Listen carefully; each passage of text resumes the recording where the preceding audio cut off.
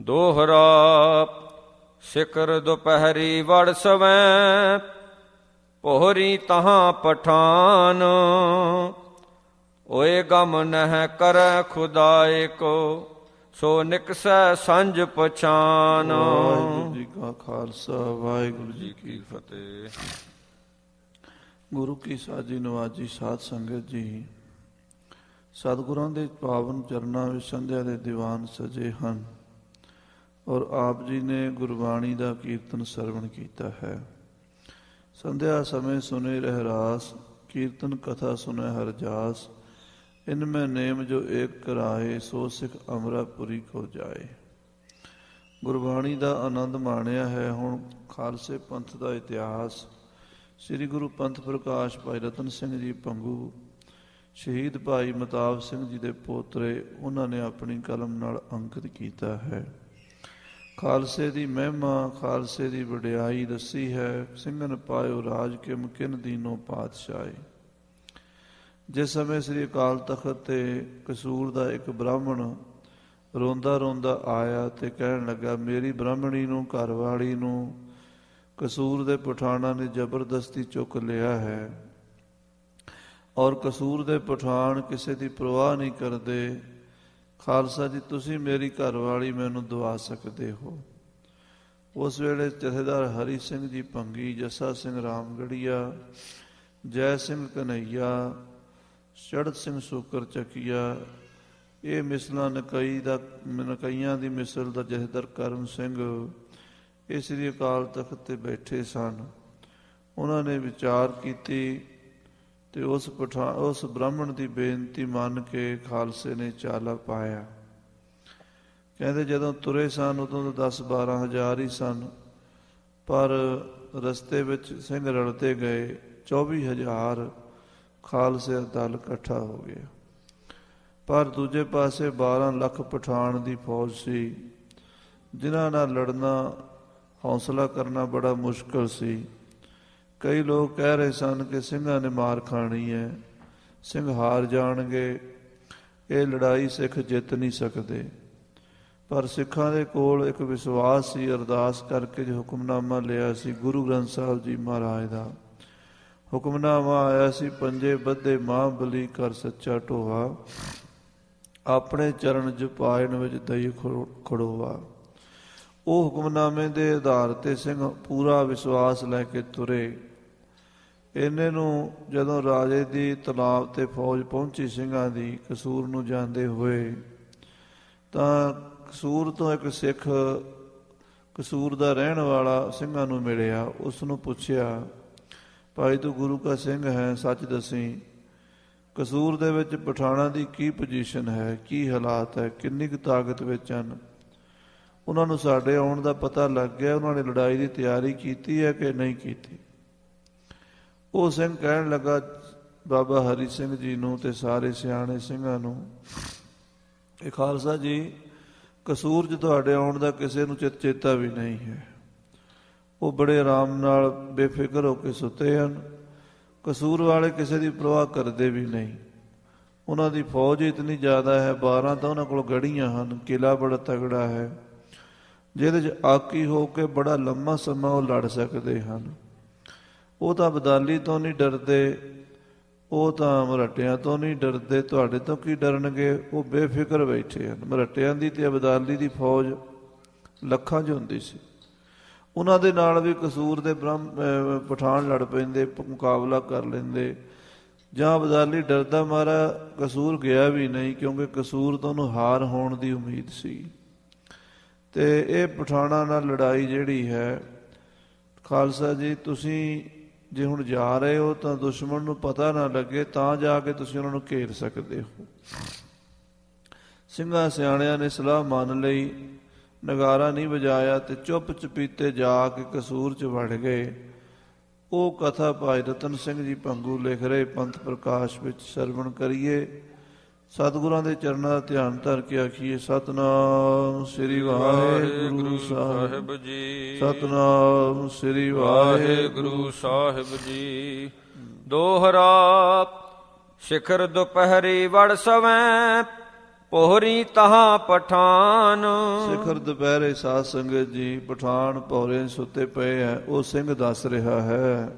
ਓਏ ਗਮ ਨਹਿ ਕਰੈ ਖੁਦਾਏ ਕੋ, ਸੋ ਨਿਕਸੈ ਸੰਜ ਪਛਾਨ। ਉਹ ਸਿੰਘ ਕਹਿੰਦਾ, ਖਾਲਸਾ ਜੀ, ਪਠਾਨ ਦਾ ਰੱਬ ਤੋਂ ਨਹੀਂ ਡਰਦੇ, ਉਹ ਤਾਂ ਖੁਦਾ ਦਾ ਗਮ ਨਹੀਂ ਖਾਂਦੇ, ਭਾਵ ਘਬਰਾਉਂਦੇ ਨਹੀਂ। ਤੁਹਾਡੇ ਤੋਂ ਤਾਂ ਉਹਨਾਂ ਨੇ ਕੀ ਡਰਨਾ? ਜੇ ਉਹਨਾਂ ਨੂੰ ਪਤਾ ਵੀ ਲੱਗ ਗਿਆ, ਤਾਂ ਵੀ ਉਹਨਾਂ ਨੇ ਸੰਭਲਣਾ ਨਹੀਂ। ਤੇ ਤੁਸੀਂ ਜਾ ਕੇ ਹੱਲਾ ਕਰ ਦਿਓ। ਚੌਪਈ ਰੋਜਨ ਕੇ ਦਿਨ ਉਨਕੇ ਆਹੀ। ਨਾਲੇ ਉਹਨਾਂ ਦੇ ਰੋਜ਼ਿਆਂ ਦੇ ਦਿਨ ਹ ਚੱਲ ਰਹੇ ਨੇ ਰੋਜ਼ੇ ਰੱਖੇ ਹੋਏ ਉਹਨਾਂ ਨੇ। ਪੀਏ ਨਾ ਪਾਣੀ ਧੂਪ ਨਾ ਖਾਹੀ। ਪਾਣੀ ਨਹੀਂ ਪੀਂਦੇ ਤੇ ਪਾਣੀ ਨਾ ਪੀਣ ਕਰਕੇ ਉਹ ਧੁੱਪੇ ਵੀ ਨਹੀਂ ਫਿਰ ਸਕਦੇ। ਤੇ ਸ਼ਰਦਖਾਨਿਆਂ ਵਿੱਚ ਉਹ ਆਪਣੇ ਰੋਜ਼ੇ ਲੰਘਾਉਂਦੇ ਹਨ। ਆਓ ਮਨ ਮੈਂ ਵਹਿ ਰਹਿ ਮਗਰੂਰ। ਉਹਨਾਂ ਨੂੰ ਆਪਣੀ ਤਾਕਤ ਦਾ, ਆਪਣੇ ਕਿਲਿਆਂ ਦਾ, ਆਪਣੇ ਸ਼ਸਤਰਾਂ ਦਾ, ਆਪਣੇ ਪੈਸੇ ਦਾ ਹੰਕਾਰ ਵੀ ਹੈ। ਕੋ ਟੁਕ ਸਕੈ ਇਤ ਜੂਹ ਕਸੂਰ। ਉਹ ਕਹਿੰਦੇ ਨੇ ਕਸੂਰ ਵੱਲ ਕੌਣ ਆ ਸਕਦਾ? ਕਸੂਰ ਨੂੰ ਕੋਈ ਫਤਿਹ ਨਹੀਂ ਕਰ ਸਕਦਾ। ਸੁਨਤ ਸਿੰਘਨ ਤਬ ਯੋ ਕਹਿ ਲਈ। ਤਾਂ ਖਾਲਸੇ ਨੇ ਸਿੰਘਾਂ ਨੇ ਇਦਾਂ ਵਿਚਾਰ ਕੀਤੀ ਉਹ ਸਿੰਘ ਤੋਂ ਸੁਣ ਕੇ। ਗੁਰੂ ਗ੍ਰੰਥ ਅਬ ਵਿਧੀ ਬਨਈ ਕਿ ਸ੍ਰੀ ਗੁਰੂ ਗ੍ਰੰਥ ਸਾਹਿਬ ਜੀ ਮਹਾਰਾਜ ਨੇ ਕਿਰਪਾ ਕਰ ਦਿੱਤੀ ਹੈ। ਜੋ ਹੁਕਮਨਾਮੇ ਦੇ ਵਿੱਚ ਸਾਨੂੰ ਦੱਸਿਆ ਸੀ ਉਹਦੇ ਮੁਤਾਬਕ ਹੀ ਕੰਮ ਬਣ ਗਿਆ ਹੈ। ਰਖ ਰੋਜੇ ਵਹਿ ਨਿਰਬਲ ਭਏ। ਉਹ ਤਾਂ ਰੋਜੇ ਰੱਖ ਕੇ ਮਰੇ ਪਏ ਹਨ, ਜਿਹਨੇ 30 ਦਿਨ ਰੋਟੀ ਨਹੀਂ ਖਾਣੀ, ਮਰਨਾ ਹੀ ਹੈ। ਕਮਜ਼ੋਰ ਹੀ ਹੋਣਾ ਉਹ ਤਾਂ ਕਮਜ਼ੋਰ ਹੋਏ ਪਏ ਹਨ। ਮਰਨੇ ਦਿਨ ਉਨ ਆਪੇ ਕਏ ਉਹਨਾਂ ਨੇ ਮਰਨ ਦੇ ਦਿਨ ਆਪ ਹੀ ਸਹਿੜੇ ਹੋਏ ਹਨ। ਸਿਖਰ ਦੁਪਹਿਰੇ ਤਹ ਚੱਲ ਵੜੋ। ਸਿਖਰ ਦੁਪਹਿਰੇ ਆਪਾਂ ਚੱਲ ਵੜੀਏ ਕਸੂਰ ਦੇ ਵਿੱਚ। ਚੁੱਪ ਕਰ ਤੁਰੋ ਨਾ ਖੜਕੋ ਕਰੋ। ਚੁੱਪ ਕਰਕੇ ਚੱਲੋ ਖੜਕਾ ਨਾ ਕਰੋ ਨਗਾਰਾ ਵੀ ਨਾ ਵਜਾਓ। ਨਿਸ਼ਾਨ ਨਾ ਖੁਲਾਵੋ ਨਾ ਬਜਾਵੋ ਨਗਾਰੋ। ਨਿਸ਼ਾਨ ਸਾਹਿਬ ਦੇ ਫਰਲੇ ਵੀ ਨਾ ਖੋਲੋ। ਤੇ ਨਗਾਰੇ ਤੇ ਚੋਭਾਂ ਵੀ ਨਾ ਲਾਓ। ਰਾਹ ਨਾ ਛੇੜਿਓ ਮਤ ਹੋਏ ਪੁਕਾਰੋ। ਔਰ ਰਾਹ ਵਿੱਚ ਕਿਸੇ ਹੋਰ ਨੂੰ ਵੀ ਨਾ ਛੇੜੋ ਤਾਂ ਕਿ ਕੋਈ ਪੁਕਾਰ ਨਾ ਕਰ ਦਵੇ। ਗੁਰਮਤੋ ਖਾਲਸੈ ਥੋ ਯੋ ਕਰ ਲਿਓ। ਇਸ ਤਰ੍ਹਾਂ ਖਾਲਸੇ ਨੇ ਗੁਰਮਤਾ ਸੋਧ ਲਿਆ। ਪਠਾਨ ਕਟੇ ਬਿਨ ਲੁਟਨ ਨਾ ਡਹਿਓ। ਕਿ ਪਹਿਲਾਂ ਆਪਾਂ ਪਠਾਣਾ ਨੂੰ ਸੋਧਣਾ ਹੈ ਤੇ ਫਿਰ ਖਜ਼ਾਨੇ ਵੱਲ ਦੇਖਣਾ ਹੈ। ਲੁੱਟਣ ਮਾਰ ਨਹੀਂ ਕਰਨੀ ਪਹਿਲਾਂ ਪਠਾਣਾ ਦੀ ਆਕੜ ਭੰਨਣੀ ਹੈ। ਮੋਹਰੇ ਤੁਰੈ ਸੋ ਆਪ ਸਰਦਾਰ। ਬਾਬਾ ਹਰੀ ਸਿੰਘ ਜੀ ਭੰਗੀ ਜੱਸਾ ਸਿੰਘ ਰਾਮਗੜੀਆ ਚੜਤ ਸਿੰਘ ਸੂਕਰ ਚੱਕੀਆ ਸਾਰੇ ਮੂਹਰੇ ਤੁਰਨ ਲੱਗੇ ਬੜੇ ਆਰਾਮ ਦੇ ਨਾਲ। ਜਿਮ ਕਰ ਵਪਾਰੀਏ ਆਏ ਵਪਾਰ। ਇਦਾਂ ਦਾ ਰੂਪ ਬਣਾ ਲਿਆ ਖਾਲਸੇ ਨੇ ਕਿ ਵਪਾਰੀ ਹਨ ਤੇ ਵਪਾਰ ਕਰਨ ਸ਼ਹਿਰ 'ਚ ਬੜੇ ਹਨ। ਦੋਹਰਾ ਇੱਕ ਇੱਕ ਦੋਏ ਦੋਏ ਹੋਏ ਖੜੇ ਕਈ ਅਗਾੜੇ ਜਾਹੇ। ਕਸੂਰ ਸ਼ਹਿਰ ਦੇ ਸਿੰਘ ਵੜ ਗਏ ਇੱਕ ਇੱਕ ਦੋ ਦੋ ਚਾਰ ਚਾਰ ਦੁਕਾਨਾਂ ਦੇ ਅੱਗੇ ਜਾ ਕੇ ਖਲੋ ਗਏ। ਕੋਈ ਅਗਲੇ ਚੌਂਕ ਵਿੱਚ ਚਲਾ ਗਿਆ ਕੋਈ ਸੱਜੇ ਕੋਈ ਖੱਬੇ। ਸ਼ਹਿਰ 'ਚ ਸਿੰਘ ਖਿੰਡ ਗਏ। ਕਈ ਉਤਰੈ ਕਈ ਹਟ ਬਹੈ ਸੌਦੇ ਉਨਹਿ ਪੁਛਾਹੇ। ਦੁਕਾਨਾਂ 'ਚ ਵੜ ਕੇ ਸੌਦੇ ਪੁੱਛਣ ਲੱਗ ਪਏ। ਕੋਈ ਕੱਪੜੇ ਦਾ ਮੁੱਲ ਪੁੱਛਣ ਲੱਗ ਪਿਆ ਕੋਈ ਕਰਿਆਨੇ ਦਾ ਕੋਈ ਦਾਲਾਂ ਸਬਜ਼ੀਆਂ ਦਾ। ਏਦਾਂ ਸਿੰਘ ਜਾਣ ਬੁੱਝ ਕੇ ਉਹਨਾਂ ਨੂੰ ਭੁਲੇਖਾ ਪਾ ਰਹੇ ਨੇ। ਚਾਉ ਪਈ ਇੱਕ ਗੜੀ ਵੱਲ ਪਹਿਲੇ ਖੜੇ। ਪਹਿਲਾਂ ਇੱਕ ਗੜੀ ਤੇ ਜਾ ਕੇ ਨਿਗਾਹ ਰੱਖੀ ਵੀ ਇਸ ਗੜੀ 'ਚੋਂ ਕੀ ਹੁੰਦਾ ਹੈ। ਦੋਏ ਗੜੀ ਆਏ ਪਿਛਲੇ ਇਹ ਵੜੇ ਦੂਜੀ ਗੜੀ 'ਚ ਪਿਛਲੇ ਪਾਸਿਓਂ ਦੀ ਆ ਬੜੇ ਇਮ ਕਰ ਗੜੀ ਕਈ ਮਲ ਲਈ। ਇਸ ਤਰ੍ਹਾਂ ਹੌਲੇ ਹੌਲੇ ਸਿੰਘ ਗੜੀਆਂ ਦੇ ਅੰਦਰ ਵੜ ਗਏ। ਤੇ ਗੜੀਆਂ ਮੱਲ ਲਈਆਂ ਗੜੀਆਂ ਦੇ ਉੱਪਰ ਜਾ ਚੜੇ ਹਨ। ਤਉ ਪਛਾਣ ਤੁਰਕਨ ਨੇ ਕਈ ਜਦੋਂ ਸਿੰਘਾਂ ਦੀ ਫੌਜ ਸ਼ਹਿਰ ਦੇ ਵਿੱਚ ਪੂਰੀ ਤਰ੍ਹਾਂ ਕਾਬਜ ਹੋ ਗਈ ਉਦੋਂ ਪਠਾਣਾ ਨੂੰ ਸਮਝ ਆਈ ਵੀ ਇਹ ਤਾਂ ਕੋਈ ਦੁਸ਼ਮਣ ਸਾਡੇ ਆ ਗਏ ਨੇ। ਤੋ ਕਿਵਾੜ ਵਹਿ ਭੇੜਨ ਡਹੇ। ਤਾਂ ਫਿਰ ਉਹ ਫਟਾਫਟ ਦਰਵਾਜ਼ੇ ਬੰਦ ਕਰਨ ਲੱਗ ਪਏ। ਪਠਾਨ ਵੀ ਸਿੱਖਾਂ ਦਾ ਹਮਲਾ ਹੋ ਗਿਆ ਰੌਲਾ ਪਾ ਦਿੱਤਾ ਉਹਨਾਂ ਨੇ। ਸਿੰਘਨ ਮਾਰ ਤੇਉ ਤਬ ਜਿਹੜੇ ਦਏ ਦਰਵਾਜ਼ੇ ਬੰਦ ਕਰਨ ਲੱਗੇ ਸਿੰਘਾਂ ਨੇ ਗੋਲੀਆਂ ਮਾਰ ਕੇ ਭੁੰਨ ਦਿੱਤੇ ਫਿਰ ਗੋਲੀ ਬਾਰੀ ਸ਼ੁਰੂ ਹੋ ਗਈ। ਪਰੀ ਸ਼ਹਿਰ ਮੈਂ ਵੱਡੀ ਹਕਾਹੇ ਸ਼ਹਿਰ ਦੇ ਵਿੱਚ ਬੜਾ ਰੌਲਾ ਪੈ ਗਿਆ ਇੱਕਦਮ ਧਮਾਕਾ ਜਿਹਾ ਹੋ ਗਿਆ ਵੀ ਸ਼ਹਿਰ ਵਿੱਚ ਦੁਸ਼ਮਣ ਵੜ ਗਿਆ ਹੈ। ਪਠਾਣਾ ਨੂੰ ਭਾਜੜਾਂ ਪੈ ਗਈਆਂ ਹੱਥਾਂ ਪੈਰਾਂ ਦੀ ਪੈ ਗਈ। ਤੌ ਲੋ ਪਹੁੰਚੋ ਸਭ ਦਲ ਆਏ। ਇਹਨਾਂ ਨੂੰ ਸਿੰਘਾਂ ਦਾ ਸਾਰਾ ਦਲ ਜਿਹੜਾ ਪਿੱਛੇ ਰਹਿ ਗਿਆ ਸੀ ਉਹ ਵੀ ਸ਼ਹਿਰ 'ਚ ਆ ਵੜਿਆ। ਤੁਰਕਨ ਉੱਪਰ ਉੱਠੀ ਸ਼ਮਸ਼ੇਰ। 24000 ਸਿੰਘਾਂ ਦਾ ਦਲ ਕਸੂਰ ਸ਼ਹਿਰ ਦੇ ਅੰਦਰ ਵੜ ਗਿਆ ਤੇ ਕਸੂਰ ਵਿੱਚ ਤੇਗਾਂ ਚਮਕ ਪਈਆਂ। ਕਿਤਕ ਬੰਦੂਖਨ ਸਿਉ ਦਏ ਗੇਰ। ਕਈਆਂ ਨੂੰ ਸਿੰਘਾਂ ਨੇ ਗੋਲੀਆਂ ਮਾਰ ਕੇ ਝੜਕ ਡੇਗ ਦਿੱਤਾ ਤੇ ਕਈਆਂ ਨੂੰ ਤੇਗਾਂ ਨਾਲ ਝੜਕ ਦਿੱਤਾ। ਜਿਮ ਜਿਮ ਬੰਦੂਖਨ ਖੜਕੋ ਹੋਏ। ਜਿਵੇਂ ਜਿਵੇਂ ਬੰਦੂਕਾਂ ਦਾ ਖੜਕਾ ਹੋਣ ਲੱਗਾ ਗੋਲੀ ਚੱਲਣ ਲੱਗੀ। ਉੱਠੇ ਭੋਰਨ ਤੇ ਸੁੱਤੇ ਜੋਏ। ਉਹ ਜਿਹੜੇ ਪਠਾਣਾ ਦੇ ਵੱਡੇ ਸਰਦਾਰ ਸੁੱਤੇ ਪਏ ਸਨ ਭੌਰਿਆਂ ਦੇ ਵਿੱਚ ਸ਼ਰਦਖਾਨਿਆਂ ਦੇ ਵਿੱਚ ਗਰਮੀ ਕਰਕੇ ਕਿਸ ਪੈ ਸ਼ਸਤਰ, ਕਿਸ ਪੈ ਨਾਹੇ? ਉਹਨਾਂ ਕੋਲ ਕਿਸੇ ਕੋਲ ਸ਼ਸਤਰ ਸੀ ਤੇ ਕਿਸੇ ਕੋਲ ਨਹੀਂ ਸਨ। ਉਹਨਾਂ ਨੂੰ ਕੀ ਪਤਾ ਸੀ ਵੀ ਸਾਡੇ ਤੇ ਇਦਾਂ ਦਾ ਭਾਣਾ ਵਰਤ ਜਾਣਾ? ਉਹਦਾ ਬੜੇ ਬੇਫਿਕਰ ਹੋ ਕੇ ਸੁੱਤੇ ਪਏ ਸੀ। ਗਮ ਨਾ ਕਰੇ ਖੁਦਾਏ, ਕਿਉਂਕਿ ਰੱਬ ਤੋਂ ਵੀ ਨਹੀਂ ਸੀ ਡਰਦੇ ਉਹ ਪਠਾਨ ਤਾਂ। ਲੋਕਾਂ ਦੀਆਂ ਧੀਆਂ ਭੈਣਾਂ ਜ਼ਬਰਦਸਤੀ ਚੁੱਕ ਲੈਣੀਆਂ, ਕਿਸੇ ਤੋਂ ਡਰਨਾ ਹੀ ਨਹੀਂ, ਪਰਵਾਹ ਨਹੀਂ ਕਰਨੀ ਕਿਸੇ ਦੀ।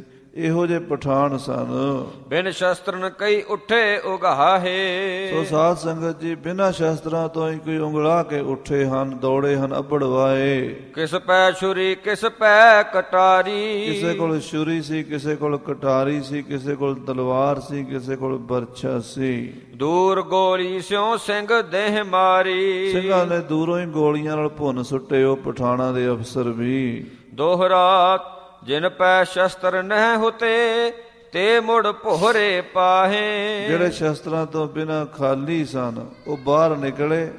ਸਿੰਘਾਂ ਨੂੰ ਦੇਖ ਕੇ ਡਰ ਕੇ ਫੇਰ ਭੋਰਿਆਂ 'ਚ ਵੜ ਗਏ, ਕਿਉਂਕਿ ਉਹਨਾਂ ਦਾ ਹੌਸਲਾ ਹੀ ਨਹੀਂ ਪਿਆ ਬਾਹਰ ਨਿਕਲ ਕੇ ਲੜੀਏ। ਬਿਨਾਂ ਸ਼ਸਤਰਾਂ ਦੇ ਕਾਹਦੇ ਨਾਲ ਲੜਨਾ ਸੀਗਾ? ਭੱਜ ਕੇ ਭੌਰਿਆਂ 'ਚ ਵੜਦੇ ਹਨ। ਜਿਨ ਕੈ ਤੀਰ ਬੰਦੂਕ ਥੀ ਤੇ ਆਏ ਜੁਦ ਮਚਾਹੇ। ਜਿਨ੍ਹਾਂ ਕੋਲ ਬੰਦੂਕਾਂ ਸਨ ਜਾਂ ਤੀਰ ਕਮਾਨ ਸਨ ਉਹ ਭੌਰਿਆਂ ਵਿੱਚੋਂ ਨਿਕਲੇ ਤੇ ਉਹਨਾਂ ਨੇ ਸਿੰਘਾਂ ਨਾਲ ਯੁੱਧ ਮਚਾ ਦਿੱਤਾ। ਚੌਪਈ ਬੰਦੂਕਨ ਕੇ ਸਿੰਘ ਵੱਡੇ ਖਿਡਾਰੀ। ਬੰਦੂਕਾਂ ਦੇ ਸਿੰਘ ਵੱਡੇ ਖਿਡਾਰੀ ਸਨ। ਬੰਦੂਕ ਦੇ ਵਿੱਚ ਤਾਂ ਸਿੰਘਾਂ ਦੀ ਧਮਕ ਅਬਦਾਲੀ ਵੀ ਮੰਨਦਾ ਸੀ ਔਰ ਦਿੱਲੀ ਤਖਤ ਵਿੱਚ ਵੀ ਖਾਲਸੇ ਦਾ ਨਿਸ਼ਾਨਾ ਸਭ ਤੋਂ ਨਿਆਰਾ ਸੀ। ਸੋ ਸਿੰਘ ਬੰਦੂਕ ਦੇ ਵੱਡੇ ਖਿਡਾਰੀ ਸਨ। ਤੀਰੰਦਾਜ ਕਉ ਵਹਿਲੇ ਮਾਰੀ। ਜਿਹੜੇ ਪਠਾਨ ਤੀਰ ਕਮਾਨਾ ਫੜ ਕੇ ਬਾਹਰ ਆਏ ਸਿੰਘਾਂ ਨੇ ਗੋਲੀਆਂ ਮਾਰ ਕੇ ਭੁੰਨ ਦਿੱਤੇ। ਪਠਾਨ ਬੰਦੂਕ ਕਰਤ ਸ਼ਿਸ਼ਤੋ ਰਹੈ। ਉਹਦੇ ਬੰਦੂਕ ਦਾ ਨਿਸ਼ਾਨਾ ਹੀ ਲਾਉਂਦੇ ਰਹਿੰਦੇ ਸੀ। ਪਠਾਨ ਦੇ ਸਿੰਘ ਗੋਲੀ ਮਾਰ ਕੇ ਦੂਜੀ ਵਾਰੀ ਭਰ ਲੈਂਦੇ ਸਨ। ਤਾਉ ਹੀ ਸਿੰਘ ਉਸ ਮਾਰ ਗਿਰਹੈ। ਉਹ ਜੇ ਬੰਦੂਕ ਸਿੱਧੀ ਕਰਕੇ ਮੜ ਜਾ ਅੱਖ ਮਿਲਾ ਮੀਚ ਕੇ ਨਿਸ਼ਾਨਾ ਲਾਉਂਦੇ ਸੀਗੇ ਤੇ ਇੰਨੇ ਨੂੰ ਸਿੰਘਾਂ ਦੀ ਗੋਲੀ ਉਹਨਾਂ ਦਾ ਕੰਮ ਕਰ ਦਿੰਦੀ ਸੀ। ਜੋ ਪਠਾਨ ਫੜ ਆਏ ਤਲਵਾਰ। ਔਰ ਜਿਹੜੇ ਪਠਾਨ ਤਲਵਾਰਾਂ ਲੈ ਕੇ ਸਿੰਘਾਂ ਨਾਲ ਲੜਨ ਆਏ ਲੈ ਨੇ ਜਨ ਸਿਉ ਉਸ ਕੋ ਮਾਰ। ਸਿੰਘਾਂ ਨੇ ਨੇਜਿਆਂ ਦੇ ਨਾਲ ਬਰਛਿਆਂ ਦੇ ਨਾਲ ਮਾਰ ਲਏ। ਇੱਕ ਥਾਂ ਮਾਰ ਸਿੰਘ ਦੁਏ ਥਾਂ ਅੜੈ। ਸਿੰਘ ਇੱਕ ਥਾਂ ਮਾਰ ਕੇ ਫਿਰ ਦੂਜੀ ਥਾਂ ਜਾ ਗੱਜਦੇ ਸਨ। ਦੁਏ ਛਡਾਏ ਤੀਏ ਥਾਂ ਵੜੈ। ਤੇ ਦੂਸਰੀ ਜਗ੍ਹਾ ਛੁਡਾ ਕੇ ਤੀਜੀ ਥਾਂ ਤੇ ਕਬਜ਼ਾ ਕਰ ਲਏ 12 ਗੜੀਆਂ ਕਸੂਰ ਦੀਆਂ ਸਿੱਖਾਂ ਨੇ ਹੌਲੇ-ਹੌਲੇ ਕਬਜ਼ੇ 'ਚ ਕਰ ਲਈਆਂ। ਤਬ ਹਟ ਸਿੰਘਨ ਫੜੀ ਤਲਵਾਰ। ਸਿੰਘਾਂ ਨੇ ਤੇਗਾਂ ਧੂ ਲਈਆਂ ਬਿਆਨ ਵਿੱਚੋਂ ਤੇ ਵੱਢਣ ਡੈ ਪਏ ਪਠਾਣਾ ਨੂੰ। ਕਰੀ ਕਤਲ ਉਹਾਂ ਪਠਾਨ ਵਿਚਾਰ। ਪਠਾਣਾ ਦੇ ਉੱਤੇ ਸਿੱਖਾਂ ਦੀ ਤੇਗ ਚੱਲੀ ਕਸੂਰ ਸ਼ਹਿਰ ਦੇ ਵਿੱਚ। ਕਿਛ ਨੱਠੇ ਕਿਛ ਲਏ ਸੋ ਮਾਰੇ। ਕੁਝ ਪਠਾਨ ਨੱਠ ਗਏ ਤੇ ਕੁਝ ਮਾਰੇ ਗਏ। ਇਮ ਸਤਗੁਰ ਕੰਮ ਸਿੰਘਨ ਸਵਾਰੇ। ਇਸ ਤਰ੍ਹਾਂ ਖਾਲਸੇ ਦਾ ਕੰਮ ਸੌਖਾ ਹੀ ਗੁਰੂ ਸਾਹਿਬ ਜੀ ਨੇ ਸਵਾਰ ਦਿੱਤਾ ਜੋ ਹੁਕਮਨਾਮਾ ਆਇਆ ਸੀ ਪੰਜੇ ਬੱਧੇ ਬਾਹ ਬਲੀ ਕਰ ਸੱਚਾ ਢੋਵਾ ਉਹ ਬਚਨ ਮਹਾਰਾਜ ਦਾ ਪੂਰਾ ਹੋ ਗਿਆ ਖਾਲਸੇ ਨੂੰ ਫਤਿਹ ਹੱਥ ਆਈ। ਦੋਹਰਾ ਪਠਾਨ ਮਾਰ ਜਬ ਸਭ ਲਏ ਕਰੀ ਖਾਲਸੈ ਛੂਟ। ਜਦੋਂ ਪਠਾਨ ਸਾਹਿਬ ਮਾਰ ਲਏ ਤੇ ਖਾਲਸੇ ਨੇ ਛੂਟ ਵਟ ਦਿੱਤੀ ਸ਼ਹਿਰ ਦੇ ਵਿੱਚ। ਪਰੇ ਚੋ ਤਰਫੋਂ ਸਿੰਘ ਕੁੱਦ ਲੱਗੇ ਕਰਨ ਤਬ ਲੂਟ। ਪਠਾਣਾ ਨੂੰ ਮਾਰਨ ਤੋਂ ਬਾਅਦ ਸਰਕਾਰੀ ਖਜ਼ਾਨੇ ਗੜੀਆਂ ਜਿਹੜੀਆਂ ਸਨ ਵੱਡੇ ਵੱਡੇ ਪਠਾਣਾ ਨਵਾਬਾਂ ਦੀਆਂ ਸਿੰਘ ਲੁੱਟਣ ਲੱਗੇ। ਚੌਪਈ ਸਰਦਾਰਨ ਲਏ ਮਹੱਲੇ ਘੇਰ। ਜਥੇਦਾਰ ਜੱਸਾ ਸਿੰਘ ਰਾਮਗੜੀਆ ਚੜਤ ਸਿੰਘ ਸ਼ੂਕਰ ਚੱਕੀਆ ਹਰੀ ਸਿੰਘ ਭੰਗੀ ਸਾਰਿਆਂ ਸਰਦਾਰਾਂ ਨੇ ਮਹੱਲੇ ਵੱਖਰੇ ਵੱਖਰੇ ਘੇਰ ਲਏ। ਵਿੱਚ ਹਵੇਲੀ ਕਰ ਲਈ ਜੇਰ। ਜਿੰਨੀਆਂ ਸ਼ਹਿਰ ਦੇ ਮਹੱਲਿਆਂ ਦੀਆਂ ਵੱਡੀਆਂ ਹਵੇਲੀਆਂ ਸਨ ਉਹਨਾਂ ਤੇ ਕਬਜ਼ੇ ਕਰ ਲਏ। ਆਪ ਸਿੰਘਨ ਲੈ ਹਟ ਵੱਡ ਮੱਲ। ਸਿੰਘਾਂ ਨੇ ਜਿਹੜੀ ਫੌਜ ਸੀਗੀ ਉਹਨਾਂ ਨੇ ਵੱਡੇ ਵੱਡੇ ਜਿਹੜੇ ਸਰਕਾਰੀ ਦੀਪੂ ਸਨ ਗਦਾਮ ਸਨ ਹੱਟੀਆਂ ਸਨ ਸਭ ਤੇ ਕਬਜ਼ਾ ਕਰ ਲਿਆ। ਜਿਨ ਮੈਂ ਦੇਖੀ ਦੌਲਤ ਭਲ। ਜਿਹੜਾ ਚੰਗੀ ਜ਼ਿਆਦਾ ਦੌਲਤ ਸੀ ਪੈਸਾ ਸੀ ਸਭ ਲੁੱਟ ਲਿਆ। ਤੁਮਨਦਾਰ ਮਲ ਲਏ ਬਾਜ਼ਾਰ। ਤੁਮਣਦਾਰਾਂ ਨੇ ਜਥੇਦਾਰ ਛੋਟਿਆਂ ਨੇ ਬਾਜ਼ਾਰ ਮੱਲ ਲਏ। ਭਰੇ ਪਕੁੰਨੇ ਘਰ ਬੇਸੁਮਾਰ। ਪਰੇ ਭੁਕੁੰਨੇ ਘਰ ਬੜੇ ਸਨ। ਕਸੂਰ ਬੜਾ ਪੁਰਾਣਾ ਸ਼ਹਿਰ ਵਸਦਾ ਹੈ। ਸ੍ਰੀ ਰਾਮਚੰਦਰ ਜੀ ਦੇ ਬੇਟੇ ਕੁਸ਼ ਤੋਂ ਵਸਿਆ ਕਸੂਰ ਤੇ ਲਵ ਤੋਂ ਵਸਿਆ ਲਾਹੌਰ। ਤੋ ਉਹ ਦੋਵੇਂ ਸ਼ਹਿਰ ਸਾਧ ਸੰਗਤ ਜੀ ਪੰਜਾਬ 'ਚ ਵੱਡੇ ਸ਼ਹਿਰ ਮੰਨੇ ਜਾਂਦੇ ਸਨ ਅਮੀਰਾਂ ਦੇ। ਅੱਜ ਖਾਲਸੇ ਦਾ ਕਸੂਰ 'ਚ ਹੱਥ ਫਿਰ ਗਿਆ। ਸਭ ਖਜ਼ਾਨੇ ਸਰਕਾਰ ਦੇ ਲੁੱਟ ਲਏ। ਚੂਹੜੇ ਚੁਮਾਰ ਜੇ ਰਲ ਆਏ ਜੱਟ। ਜਿਹੜੇ ਪਿੰਡਾਂ 'ਚੋਂ ਲੁੱਟਣ ਵਾਸਤੇ ਚੂੜੇ ਚਮਾਰ ਜੱਟ ਸਾਰੀਆਂ ਜਾਤਾਂ ਦੇ ਲੋਕ ਰਲਣ ਰਲ ਗਏ ਸੀ ਲੁੱਟ ਮਾਰ ਦੇ ਲਈ। ਲੈ ਗਏ ਵੈ ਪੁਰਸਾਰਨ ਖੱਟ। ਉਹ ਵੀ ਕਹਿੰਦੇ ਬਹੁਤ ਮਾਲ ਲੁੱਟ ਕੇ ਲੈ ਗਏ। ਸਿੰਘਾਂ ਤੋਂ ਇਲਾਵਾ ਹੋਰ ਵੀ ਲੁੱਟਣ ਨਾਲ ਰਲ ਜਾਂਦੇ ਸਨ। ਜਦੋਂ ਸਿੰਘਾਂ ਦਾ ਦਲ ਕਾਮਯਾਬ ਹੋਣ ਲੱਗਦਾ ਸੀ ਨਾ ਜੰਗ ਜਿੱਤਣ ਲੱਗਦਾ ਸੀ ਉਦੋਂ ਲੁਟੇਰੇ ਆ ਜਾਂਦੇ ਸਨ ਤੇ ਉਹ ਵੀ ਆਪਣਾ ਹੱਥ ਸਾਫ਼ ਕਰ ਜਾਂਦੇ ਸਨ। ਅਕੈ ਸੋਇਨੋ ਅਕੈ ਚਾਂਦੀ ਚੱਕੈ। ਕਹਿੰਦੇ ਕੋਈ ਸੋਨਾ ਚੁੱਕਣ ਲੱਗ ਪਿਆ ਤੇ ਕੋਈ ਚਾਂਦੀ ਦੀਆਂ ਪੰਡਾਂ ਬੰਨ ਕੇ ਲਿਜਾਣ ਲੱਗਾ।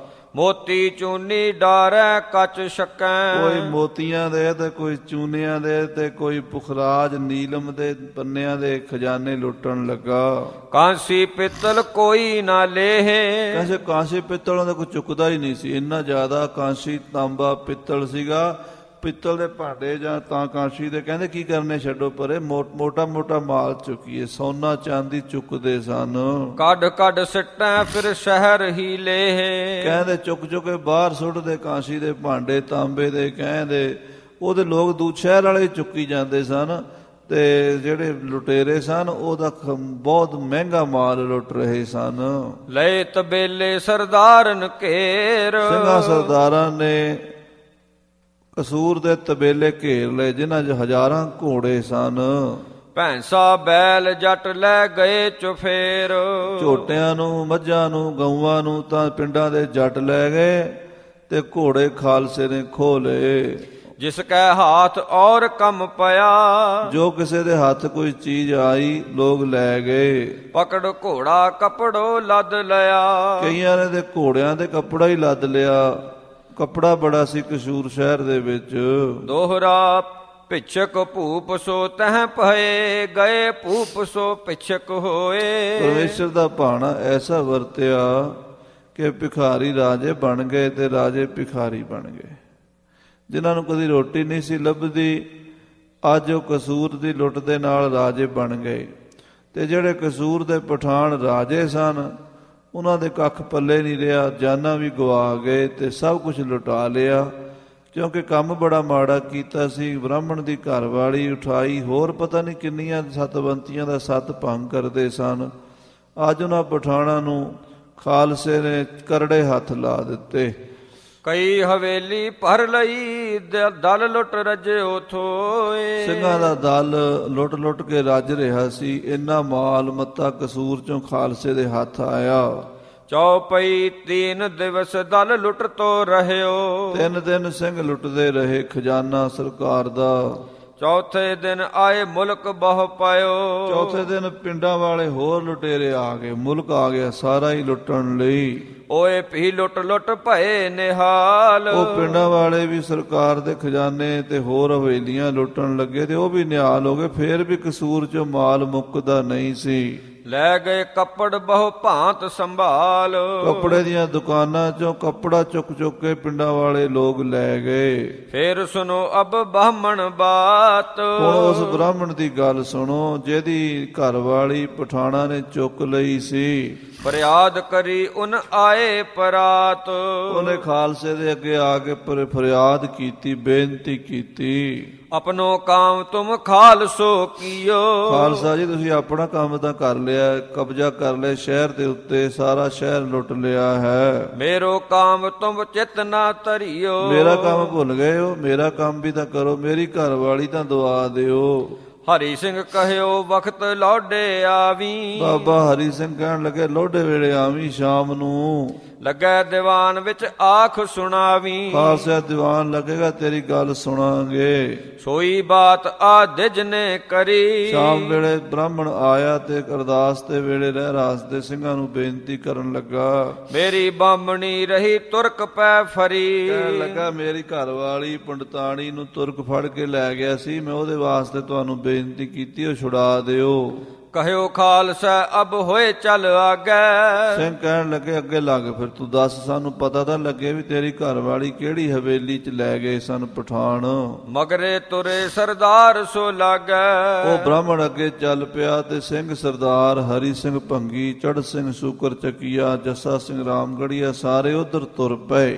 ਗਿਲਜਨ ਕੋਟ ਉਨ ਦਇਓ ਬਤਾਏ। ਉਸ ਬ੍ਰਾਹਮਣ ਨੇ ਦੱਸਿਆ ਵੀ ਆਹ ਜਿਹੜਾ ਕਿਲਾ ਹੈ ਪਠਾਣਾ ਦਾ ਇਹਦੇ ਵਿੱਚ ਮੇਰੀ ਘਰ ਵਾਲੀ ਨੂੰ ਕੈਦ ਕੀਤਾ ਹੋਇਆ ਹੈ। ਬਾਰ ਦੂਈ ਦਇਓ ਕਤਲ ਕਰਾਏ। ਤੋ ਸਿੰਘਾਂ ਨੇ ਹੱਲਾ ਬੋਲ ਕੇ ਜਿਹੜਾ ਦਰਵਾਜ਼ਾ ਸੀ ਉਹ ਤੇ ਕਬਜ਼ਾ ਕੀਤਾ ਤੇ ਡਿਊਟੀ ਬਰਦਾਰ ਸਾਹਿਬ ਮਾਰ ਦਿੱਤੇ। ਦੋਹਰਾ ਪਠਾਨ ਸੋ ਅਬ ਹੀ ਮਾਰ ਕੈ ਬਿਪਨੀ ਦਈ ਫੜਾਏ। ਪਠਾਣਾ ਨੂੰ ਸੋਧ ਦਿੱਤਾ ਸਿੰਘਾਂ ਨੇ ਮਾਰ ਦਿੱਤਾ ਤੇ ਪੰਡਤਾਣੀ ਨੂੰ ਭੌਰੇ ਵਿੱਚੋਂ ਕੱਢ ਕੇ ਪੰਡਤ ਦੇ ਹਵਾਲੇ ਕਰ ਦਿੱਤਾ। ਜੈ ਜੈ ਕਰ ਤੋ ਸੋ ਗਇਓ ਆਪਣੋ ਬਦਲੋ ਪਾਏ। ਉਹ ਬ੍ਰਾਹਮਣ ਜੈ ਜੈਕਾਰ ਕਰਦਾ ਹੋਇਆ ਸਿੰਘਾਂ ਦਾ ਧੰਨਵਾਦ ਕਰਦਾ ਸ਼ੁਕਰਾਨਾ ਕਰਦਾ ਆਪਣੇ ਘਰ ਚਲਾ ਗਿਆ ਆਪਣੀ ਪੰਡਤਾਣੀ ਨੂੰ ਲੈ ਕੇ ਤੇ ਪਠਾਨ ਜਿਹੜੇ ਸਨ ਉਹ ਬਹੁਤ ਤਾਦਾਦ ਵਿੱਚ ਮਾਰੇ ਗਏ। ਦੋਹਰਾ ਇਸੈ ਮਾਹੇ ਇੱਕ ਔਰ ਹੀ ਸੁਨੋ ਜ਼ੁਲਮ ਕੀ ਗੱਲ। ਇਹਨਾਂ ਇਹਦੇ ਵਿੱਚ ਇੱਕ ਹੋਰ ਗੱਲ ਹੈ ਜਿਹੜੀ ਦੱਸਣੀ ਜ਼ਰੂਰੀ ਹੈ। ਰਾਮ ਗੜੀਏ ਜਿਮ ਵਦ ਕਣੇ ਗਏ ਖੇਹ ਮੈਂ ਰਲ। ਰਾਮਗੜੀਆਂ ਮਿਸਲ ਦਾ ਇੱਥੇ ਇੱਕ ਕਸੂਰ ਨਿਕਲਦਾ ਹੈ ਜਿਹੜੇ ਇੰਨੇ ਵੱਧ ਗਏ ਸਨ ਪਰ ਫੇਰ ਇਹਨਾਂ ਨੇ ਕੋਈ ਇਹੋ ਜਿਹੇ ਕੰਮ ਕੀਤੇ ਜਿਹਦੇ ਕਰਕੇ ਇਹਨਾਂ ਦਾ ਤਪ ਤੇਜ ਖਤਮ ਹੋ ਗਿਆ ਖੇਜ ਰਲ ਗਏ ਭਾਵ ਏਡੀ ਵੱਡੀ ਮਿਸਲ ਖਤਮ ਹੋ ਗਈ। ਚੌਪਈ ਔਰ ਸੁਨੋ ਇੱਕ ਜ਼ੁਲਮ ਕਹਾਣੀ। ਇੱਕ ਹੋਰ ਜ਼ੁਲਮ ਦੀ ਕਹਾਣੀ ਸੁਣੋ। ਰਾਮ ਗੜੀਅਨ ਜਿਮ ਜੜ ਉਖੜਾਨੀ। ਰਾਮਗੜੀਆਂ ਦੀ ਜਿਵੇਂ ਜੜ ਪੱਟੀ ਗਈ। ਰਾਮਗੜੀਏ ਸਿੱਖਾਂ ਦੀ ਇੱਕ ਮਿਸਲ ਸੀ ਬਾਬਾ ਜੱਸਾ ਸਿੰਘ ਰਾਮਗੜੀਆ ਪਰ ਉਹਦੇ ਭਰਾ ਜਿਹੜੇ ਸਨ ਉਹਨਾਂ ਦੇ ਜਿਹੜੇ ਅੱਗੋਂ ਸਿੰਘ ਸਨ ਉਹਨਾਂ ਨੇ ਕੁਝ ਐਸੀਆਂ ਗੱਲਾਂ ਕੀਤੀਆਂ ਜਿਹਦੇ ਨਾਲ ਉਹਨਾਂ ਦਾ ਨੁਕਸਾਨ ਹੋਇਆ ਬਾਅਦ ਵਿੱਚ। ਚਾਰੇ ਭਾਈ ਅਤ ਵੱਡ ਸੂਰੇ। ਜੱਸਾ ਸਿੰਘ ਖੁਸ਼ਹਾਲ ਸਿੰਘ ਆਦਿ ਕੇ ਚਾਰ ਭਰਾ ਸਨ ਬੜੇ ਸੂਰਵੀਰ ਯੋਧੇ ਸਨ। ਜਿਨ ਸੋ ਲਰ ਕਉ ਉਤਰਿਓ ਨਾ ਪੂਰੇ। ਲੜਾਕੇ ਵੀ ਬੜੇ ਸਨ ਬਹਾਦਰ ਅਬਦਾਲੀ ਨਾਲ ਜਾ ਜਾ ਕੇ ਲੜਦੇ ਰਹੇ। ਕੋਈ ਇਹਨਾਂ ਦੇ ਨਾਲ ਲੜ ਕੇ ਇਹਨਾਂ ਨੂੰ ਜਿੱਤ ਨਹੀਂ ਸਕਿਆ। ਜਦੋਂ ਸਿੱਖਾਂ ਦੀਆਂ ਮਿਸਲਾਂ ਆਪਸ ਵਿੱਚ ਲੜੀਆਂ ਸਨ ਉਦੋਂ ਵੀ ਇਹ ਸਿੱਖਾਂ ਦੇ ਵਿੱਚ ਸਭ ਤੋਂ ਬਹਾਦਰ ਗਿਣੇ ਜਾਂਦੇ ਸਨ।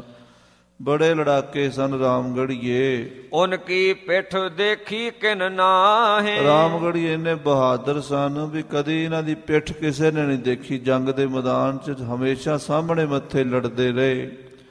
ਕਦੀ ਰਣ ਤੱਤੇ ਜੋ ਭੱਜੇ ਨਹੀਂ ਸਨ। ਮੱਲਿਓ ਕਾਂਗੜੋ ਇੱਕ ਦਿਨ ਮਾਹੇ। ਇੱਕੋ ਦਿਨ ਵਿੱਚ ਰਾਮਗੜੀਆਂ ਨੇ ਕਾਂਗੜੇ ਦਾ ਰਾਜ ਖੋਹ ਲਿਆ ਸੀ ਕਾਂਗੜੇ ਦੇ ਰਾਜੇ ਕੋਲੋਂ। ਸਤ ਧਾਰਨ ਕੇ ਭੀ ਪਾਤਸ਼ਾਹ। ਜਿਹੜੀਆਂ ਪਹਾੜ ਦੀਆਂ ਸੱਤ ਧਾਰਾਂ ਜਲੰਧਰ ਦੇ ਇਲਾਕੇ 'ਚ ਪੈਂਦੀਆਂ ਨੇ ਉਹ ਸੱਤ ਧਾਰਾਂ ਦੀ ਬਾਦਸ਼ਾਹੀ ਜੱਸਾ ਸਿੰਘ ਨੇ ਇੱਕੋ ਦਿਨ 'ਚ ਖੋਹ ਲਈ ਸੀ। ਲਾ ਕਰ ਕਸੂਰ ਥੋ ਮੁਲਕ ਉਨ ਪਾਹ। ਕਸੂਰ ਤੱਕ ਦਾ ਇਲਾਕਾ ਇਹਨਾਂ ਨੇ ਫਤਿਹ ਕਰ ਲਿਆ ਸੀ। ਸਾਰੇ ਇਲਾਕੇ ਦੇ ਰਾਜੇ ਸਨ, ਰਾਮਗੜੀਏ, ਜੱਸਾ ਸਿੰਘ ਦੇ ਭਰਾ। ਅੰਮ੍ਰਿਤਸਰ ਮੈਂ ਹਿੱਸੋ ਚੁਹਾਰਮ। ਸ੍ਰੀ ਅੰਮ੍ਰਿਤਸਰ ਦੇ ਇਲਾਕੇ ਚੋਂ ਚੌਥਾ ਹਿੱਸਾ ਰਾਮਗੜ੍ਹੀ ਇਸ ਕਰਕੇ ਲੈਂਦੇ ਸਨ ਵੀ ਰਾਮਗੜ੍ਹ ਕਿਲਾ ਜਿਹੜਾ ਸੀ ਰਾਮ ਰੌਣੀ ਉਹਨਾਂ ਦੇ ਕਬਜ਼ੇ ਵਿੱਚ ਸੀ। ਹਾਂਸੀ ਹਿਸਾਰ ਮਲ ਕਰੀ ਗੁਜਾਰਮ। ਤੇ ਉਹਨਾਂ ਨੇ ਹਾਂਸੀ ਹਿਸਾਰ ਹਰਿਆਣੇ ਦੇ ਵਿੱਚ ਜਿਹੜੇ ਸਿਰਸਾ ਹਿਸਾਰ ਇਲਾਕੇ ਨੇ ਉਧਰ ਵੀ ਕਬਜ਼ੇ ਕਰਕੇ ਆਪਣਾ ਮੋਰਚਾ ਫਤਿਹ ਕੀਤਾ ਸੀ। ਜੱਸਾ ਸਿੰਘ ਆਹਲੂ ਇਨ ਫੜਿਓ। ਇੱਕ ਵਾਰੀ ਦੀ ਗੱਲ ਹੈ ਬਾਬਾ ਜੱਸਾ ਸਿੰਘ ਦੀ ਆਲੂ ਵਾਲੀਆ ਜਿਹੜੇ ਸਨ, ਉਹਦੀ ਜੱਸਾ ਸਿੰਘ ਰਾਮਗੜੀਏ ਨਾਲ ਅਣਬਣ ਹੋ ਗਈ। ਇਹ ਗੱਲਾਂ ਸਾਧ ਸੰਗਤ ਜੀ ਜਦੋਂ ਅਬਦਾਲੀ ਵਾਪਸ ਚਲਾ ਜਾਂਦਾ, ਉਦੋਂ ਫਿਰ ਸਿੱਖ ਇਲਾਕੇ ਮੱਲਣ ਲੱਗ ਪਏ ਸਨ। ਤੇ ਸਿੰਘਾਂ ਦੇ ਵਿੱਚ ਉਦੋਂ ਰਾਮਗੜੀਆਂ ਦੀ ਤੇ ਚੜ੍ਹਤ ਸਿੰਘ ਸੂਕਰ ਚੱਕੀਏ, ਜੱਸਾ ਸਿੰਘ ਰਾ- ਆਲੂ ਵਾਲੀਏ ਨਾ ਸਾਰਿਆਂ ਦੀ ਆਪਸ ਵਿੱਚ ਵੀ ਤਲਵਾਰ ਖੜਕੀ ਹੈ, ਉਹ ਇਲਾਕੇ ਮੱਲਣ ਲਈ। ਤੋ ਇੱਕ ਵਾਰੀ ਬਾਬਾ ਜੱਸਾ ਸਿੰਘ ਜੀ ਆਲੂ ਵਾਲੀਏ, ਉਹ ਰਾਮ ਤੀਰਥ ਤੇ ਗਏ। ਰਾਮ ਤੀਰਥ ਅੰਮ੍ਰਿਤਸਰ ਦੇ ਨੇੜੇ ਹੀ ਹੈ। ਰਾਮ ਤੀਰਥ ਤੇ ਜਾ ਕੇ ਬਾਬਾ ਜੱਸਾ ਸਿੰਘ ਜੀ ਇਸ਼ਨਾਨ ਕਰਨ ਲੱਗੇ ਸਰੋਵਰ ਤੇ ਤੇ ਉਹਨਾਂ ਦੇ ਨਾਲ 50 ਕੁ ਸਿੰਘ ਸਨ, ਜੱਸਾ ਸਿੰਘ ਆਲੂ ਵਾਲੀਏ ਦੇ। ਉਧਰੋਂ ਜੱਸਾ ਸਿੰਘ ਰਾਮਗੜੀਏ ਦੇ ਭਰਾ ਆਏ ਹੋਏ ਸਨ ਬਟਾਲਿਓਂ। ਉਹਨਾਂ ਨੇ ਵੇਖਿਆ ਜੱਸਾ ਸਿੰਘ ਦੇ ਨਾਲ ਸਿੰਘ ਥੋੜਿਆ ਹੱਲਾ ਬੋਲ ਦਿੱਤਾ। ਆਪਸ 'ਚ ਲੜਾਈ ਸੀਗੀ। ਤੇ ਬਾਬਾ ਜੱਸਾ ਸਿੰਘ ਦੇ ਸਾ- ਸਾਥੀ ਜੱਸਾ ਸਿੰਘ ਆਲੂ ਵਾਲੀਏ ਦੇ ਸਾਥੀ ਮਾਰੇ ਗਏ, ਸ਼ਹੀਦ ਹੋ ਗਏ ਜਾਂ ਭੱਜ ਗਏ।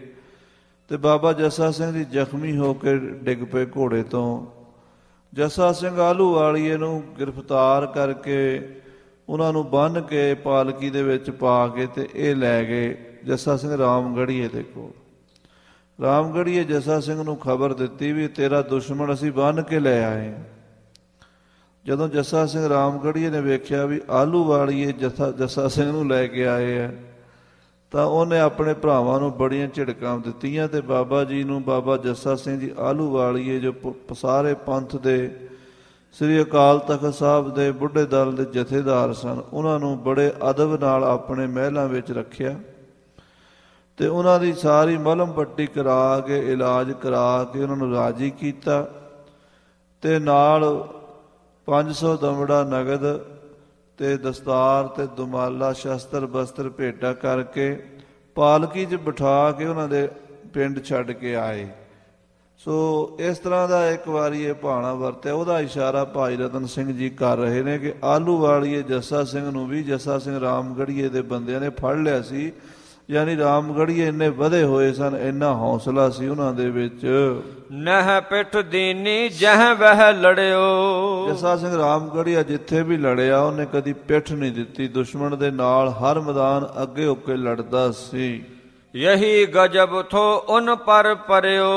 ਪਰ ਇਹੀ ਉਹਨਾਂ ਦੇ ਉੱਤੇ ਉਹਨਾਂ ਦਾ ਹੰਕਾਰ ਬਣ ਕੇ ਗਜਬ ਗੁਜ਼ਰ ਗਿਆ ਕਿਉਂਕਿ ਜਦੋਂ ਕੁਝ ਬੰਦੇ 'ਚ ਤਾਕਤ ਆਉਂਦੀ ਹੈ ਤੇ ਉਹਦੇ 'ਚ ਹੰਕਾਰ ਵੀ ਆਉਂਦਾ ਹੈ। ਐਸਾ ਕੋਈ ਨਾ ਜਨਮਿਓ ਜਗ ਮਾਹੀ ਪ੍ਰਭਤਾ ਪਾਏ ਜਾਸ ਮਦ ਨਾਹੀ। ਐਸਾ ਕੋਈ ਦੁਨੀਆ ਤੇ ਪੈਦਾ ਨਹੀਂ ਹੋਇਆ ਜਿਹਨੂੰ ਤਾਕਤ ਪ੍ਰਭਤਾ ਵਡਿਆਈ ਮਿਲੀ ਹੋਵੇ ਤੇ ਉਹਦਾ ਹੰਕਾਰ ਨਾ ਆਇਆ ਹੋਵੇ।